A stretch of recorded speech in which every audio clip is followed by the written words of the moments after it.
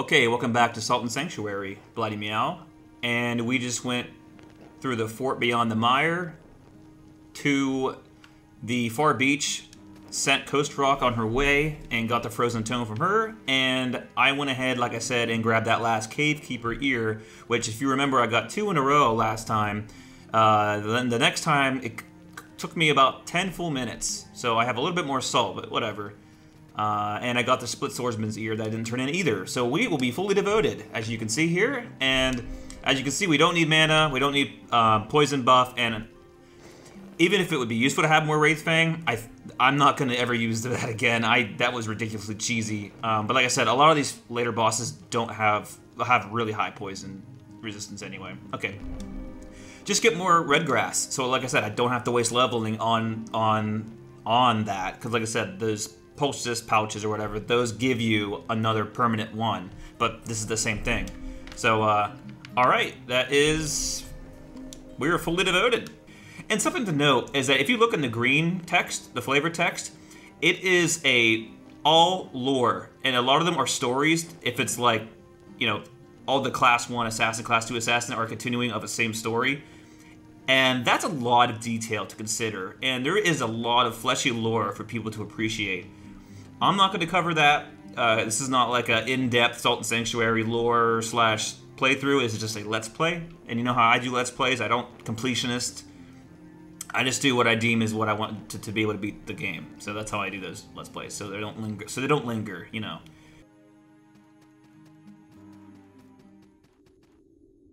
Okay, the next area. I'm not positive if this is the right direction to start, but I think you can enter in any direction. So You know what? Oh, can't even go that way, so we won't.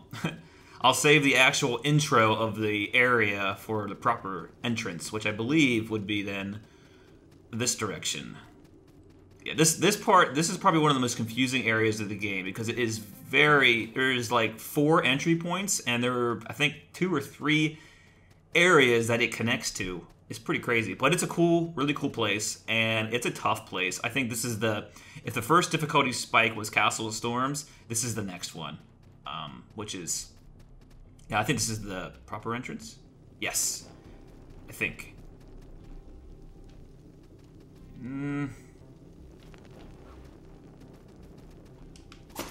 Yeah, I think this is right. We needed the... Oh, oh, oh, oh, oh, this guy. So these guys uh, are like Tonberries, in a sense, from Final Fantasy. They will... They can one-shot you if they grab you! So you don't want them to do that. They're, it's pretty scary. I learned that the hard way. So I don't know if this is going to lead to where we want to go, but let's just try it. Maybe I'll just kind of peek in and tell where I'm going is the right way. This is it. The Ziggurat of Dust. Oh, this is perfect. Right where a shrine is, too. Yeah, the Ziggurat of Dust. Here we go. Stone Root, Devotion 7. Bring to life.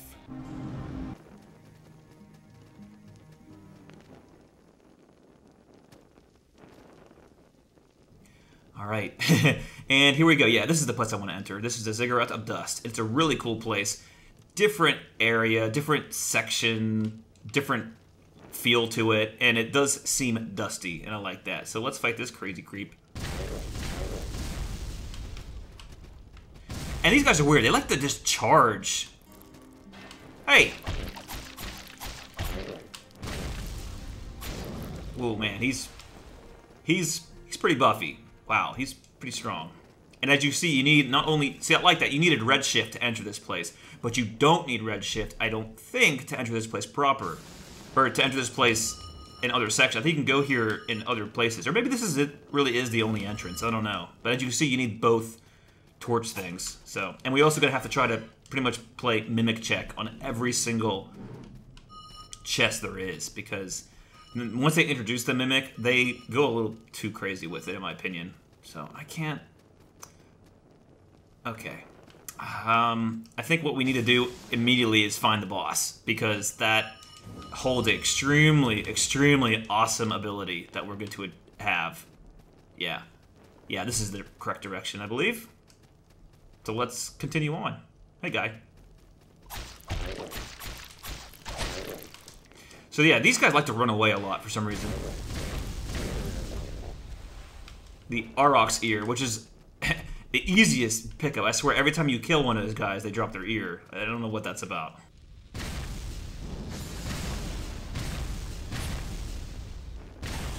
Oh yeah, of course. And once again, we're going to need the um, Impen Crest Ring because fire, fire everywhere.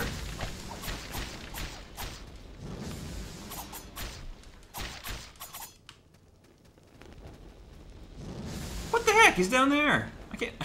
Okay. um, yeah, he... There, there is plenty of fire. This is a fire-oriented spot. If, if I'm gonna say things right. And I like how this switch just kind of does that. At first you might be like, what was that about? It just partially closed this down, but it gives you a wall jump ability. Or a wall jump spot to, to go ahead and, and go through it. Okay, and this is another cool little spot. Like I said, it just is just right enough to be able to wall jump. And upside down wall jumps are always appreciated. I love that. Inverted things, things that are are not to player expectation is is usually the best way, I think.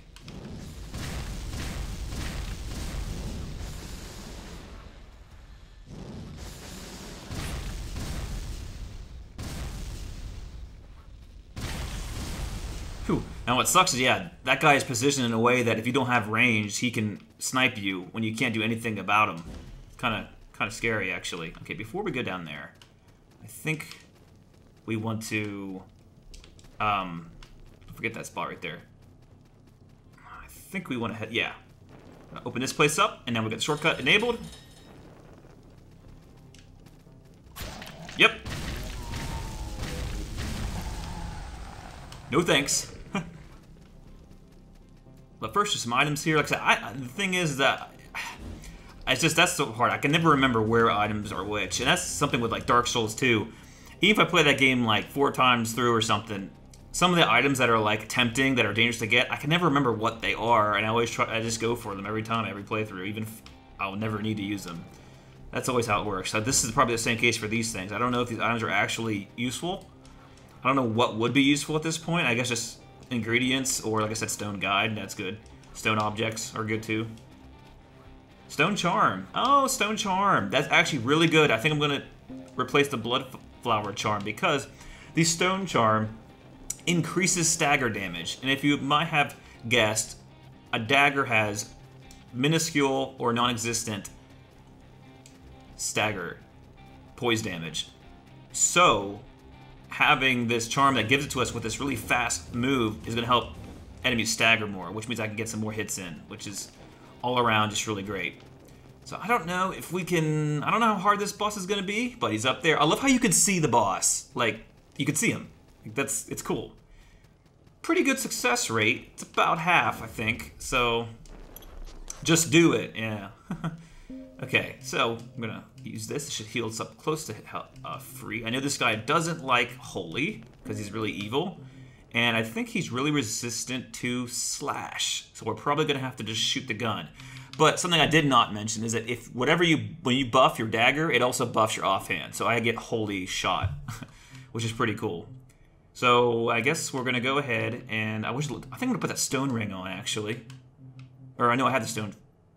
Never mind. I'm not going to do that. Okay, well, let's fight this boss, and it's going to be a really, really good ability if we're able to pull it off. I think I'm going to top myself off just in case. Might be a bad decision, might not be. Here we go.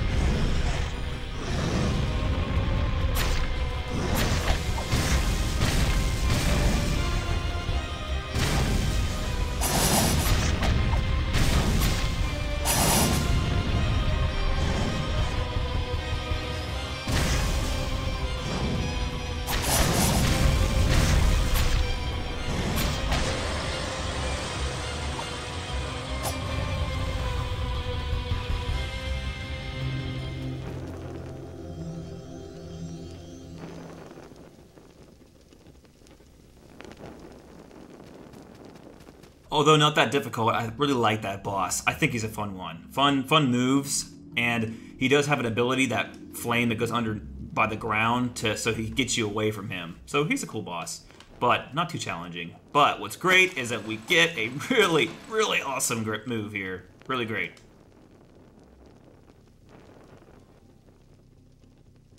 We did kill the king.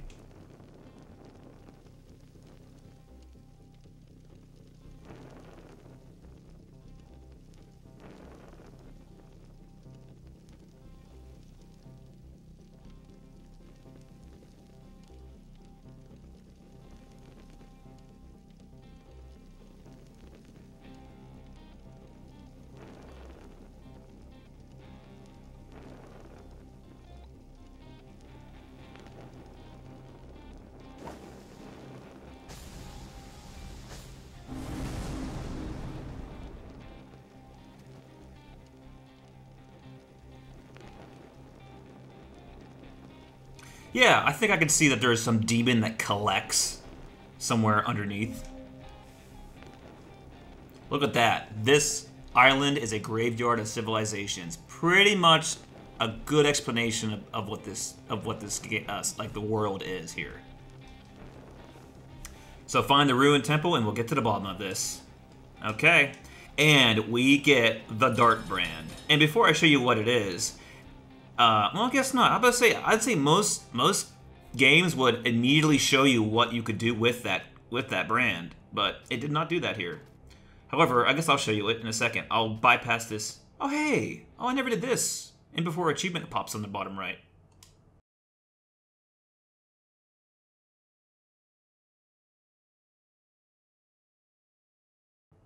Oh, I got all this cool stuff. Oh, I guess there's not an achievement. Hey, I never got all that stuff. I never saw him before. I think he goes away if you don't, if you, yeah, again. Oh, it's really, well, I don't know. It probably weighs way too much, yeah. Let's see, what that, what's that look like? A little fashion, fashion time here. Too whimsical. so.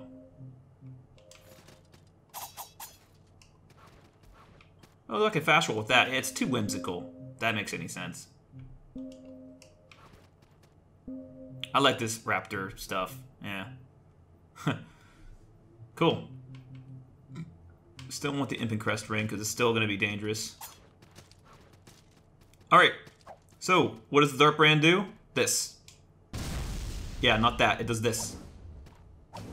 Mid-air dash, and not only one, two. Really cool. And there are some places we can go now that we have that ability. And, um, well, it's just really neat. There are some places we can go, and I'm not positive if we need to go to too many places, but there is one really core section we definitely want to make sure we get to. However, uh, I don't know what the proper order would be in terms of difficulty. Hmm. I think we might do that, because this Ziggurat place is hell. It'd be nice to be able to level up a little bit and get some, a little bit of a bonus. Yeah, I think we're gonna do that. I got plenty of gold. I think it's time to, again, shell out and buy some stuff. So we'll go to the, uh, time to think here. Yeah, we'll just go to the to the spot I'm talking about. So I'll see you there. But first, hey, look at that. We got our Lord's orders, I guess, from uh, one of the split mans, I think. So we can actually upgrade our flintlock. So we'll go ahead and do that. Because if I recall correctly, the upgrade path for our final pistol is annoying. So it's good to get as high as we can first. So now we need two Lord's Orders, which we could get from, again, um, split, man, uh, split mans. Okay, so here we are at the outside entrance of Dome of Forgotten. And if you recall, or don't recall, I'll, I'll remind you now, I said, remember this right here. And now that we have hard light, we can reach this. But could we get any further? We could not. But with the dart, we can. If I remember how to use the dart move. Jeez. Okay. Let's try that again. I don't know why I'm not used to doing that. Okay, here we go. This seems odd to do it that way. See, you need, so you need a lot of skills to be able to do this. As you can see, this is pretty cool. I'm like, what is this place? And I really, this is one of my favorite spots in the game. And uh, check this out. Here we go. Whoa! that is cool. It's kind of like at first I see my life flash before my eyes there, and then it it knows what it's doing. So we're like on this, it looks like an upside down tree or the roots of a tree, and we're really unnaturally high up, and we're going even further up. What is this?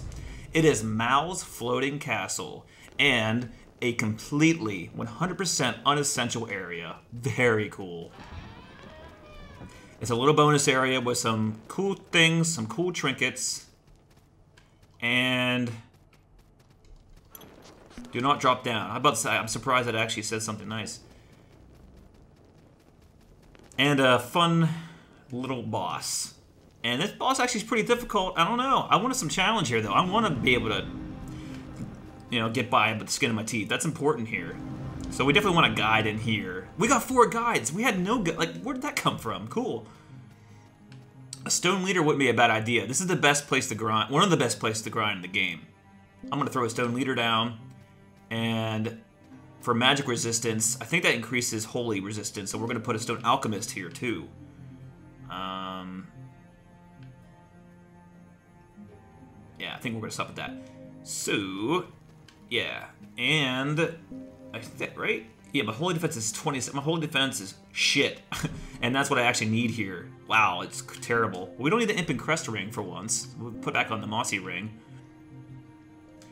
And continue on our way to explore Mal's floating castle. But that will be next time, guys. I'll see you then.